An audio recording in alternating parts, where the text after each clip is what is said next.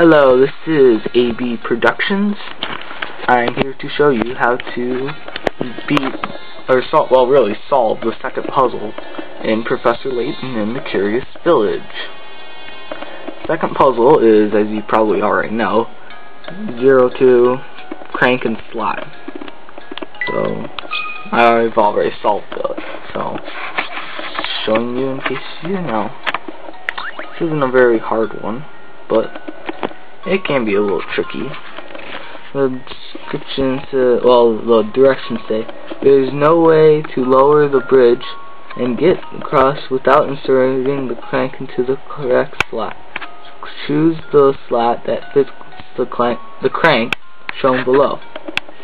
And then it just says tap the crank to change the viewing angle. So you tap it and show what it looks like.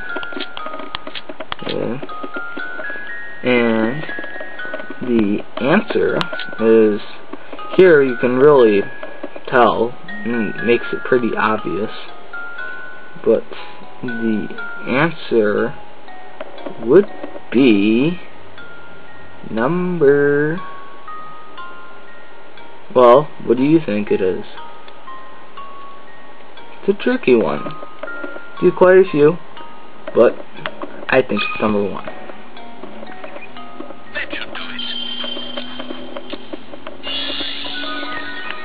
And that is correct. So the answer to number 02 is number 1. So up there, rotate the crank and its silhouette shown here in orange becomes the mirror of the slot displayed. Nice job. Now drop that bridge. And that's how you solve number 2. You tune back in and I'll show you how to solve number 3 and the rest of them.